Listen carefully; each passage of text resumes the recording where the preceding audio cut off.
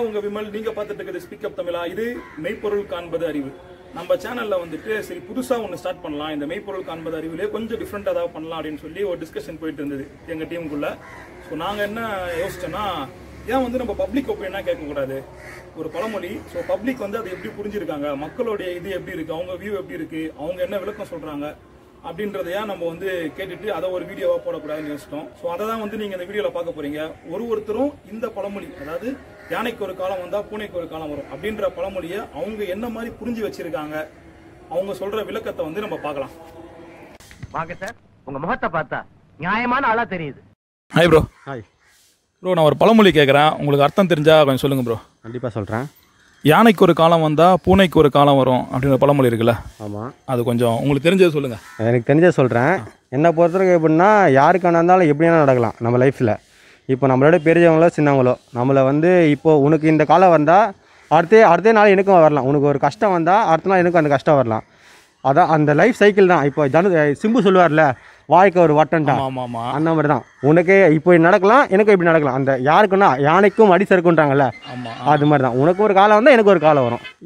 அவ்வளோதான் எனக்கு எனக்கு தெரிஞ்ச அவ்வளோதான் ப்ரோ யானைக்கு ஒரு காலம் வந்தா பூனைக்கு ஒரு காலம் வரும் அப்படின்னு சொல்லி ஒரு பழமொழி இருக்குல்ல? ஆமா சார் அதுல உங்களுக்கு தெரிஞ்ச அர்த்தம் ஏதாவது சொல்லுங்க. அந்த பழமொழிக்கு என்ன அர்த்தம்? உங்களுக்கு என்ன தெரியுமோ நீங்க சொல்லுங்க.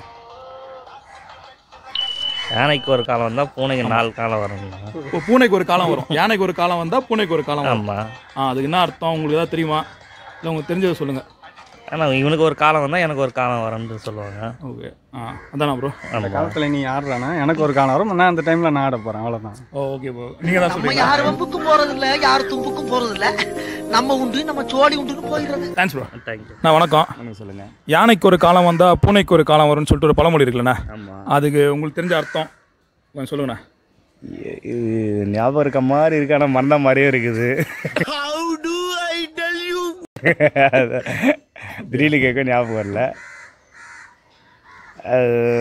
அது ஞாபகம் இல்லை மறந்த மாதிரி தான் தெரியுது. அப்படிங்களா? சரி ஓகேண்ணா. தேங்க்ஸ்ண்ணா என்ன யானைக்கு ஒரு காலம் வந்தா பூனைக்கு ஒரு காலம் வரும்னு சொல்லிட்டு ஒரு பழமொழி இருக்குல்ல? அந்த பழமொழிக்கு என்ன ப்ரோ அர்த்தம்? உங்களுக்கு தெரியுமா? சத்தியமா அதுவும் உங்களுக்கு தெரிஞ்சது சொல்லுங்க. எனக்கு எதுவுமே தெரியாது. எதுவுமே தெரியாது? எதுவுமே தெரியாது.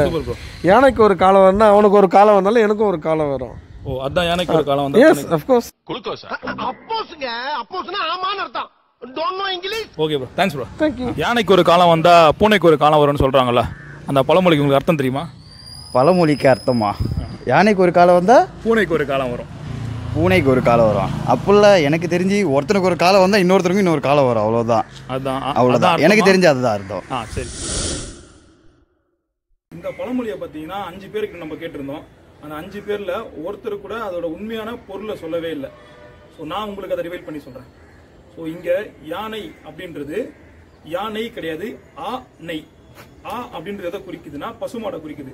ஸோ பசுமாட்டோடைய நெய். இந்த சைடு எடுத்துட்டீங்கன்னா பூ நெய். இப்போ உங்களுக்கு புரிஞ்சிருக்கும்னு நினைக்கிறேன். பூ அப்படின்றது பூவை குறிக்கிறது. நெய் வந்து பூவோட நெய் அதாவது தேன். அதான் யானைக்கு ஒரு காலம் வந்தா பசுமாட்டோடைய நெய்க்கு ஒரு காலம் வந்தா பூவோட நெய். தேனுக்கு ஒரு காலம் வரும். நம்ம சின்ன வயசுல நம்ம வீட்டில் எல்லாருமே பார்த்தீங்கன்னா நம்மளுக்கு நம்ம குழந்தையா இருக்கும்போது நெய் அதிகமாக வந்து நம்ம சாப்பாட்டில் சேர்த்து கொடுத்துருப்பாங்க. அது ஏன்னா நம்மளுக்கு வந்து கொஞ்சம் ஜீரண சக்தி நல்லாவே இருக்கும் சின்ன வயசில். அது இல்லாமல் நம்ம அந்த நெய் சாப்பிடும்போது கொஞ்சம் நல்லா இந்த மாதிரி குண்டா ஆகிறதுக்கும் வாய்ப்பு ஸோ அதனால தான் வந்து பார்த்திங்கன்னா சின்ன வயசில் வந்துட்டு நம்மளுக்கு நெய் அதிகமாக கொடுத்துருப்பாங்க. அதே மாதிரி தான் கொஞ்சம் வயசானதுக்கு அப்புறமா ஒரு ஐம்பது வயசு அறுபது வயசு ஆனதுக்கு அப்புறமா தேன் அதிகமாக கொடுப்பாங்க. ஏன்னா அந்த டைமிங்கில் வந்துட்டு பார்த்தீங்கன்னா நீங்கள் சக்கரை அந்த மாதிரியான பொருள் எடுத்துக்கிறத விட தேன் எடுத்துக்கிறது ரொம்ப நல்லது. தேன் வந்து பார்த்தீங்கன்னா கொஞ்சம் இம்யூனிட்டி பூஸ்டிங் பவரும் தேனுக்கு இருக்கு. அதை தான் வந்து சொல்லியிருப்பாங்க. யானைக்கு ஒரு காலம் வந்தால் பசுனை சாப்பிட்றதுக்கும் உனக்கு ஒரு காலம் வரும்போது அதே மாதிரி தான் தேன் சாப்பிட்றதுக்கும் உனக்கு ஒரு காலம் வரும். அதுதான் திருப்பி சொல்றேன். யானைக்கு ஒரு காலம் வந்தா பூனைக்கு ஒரு காலம் வரும்.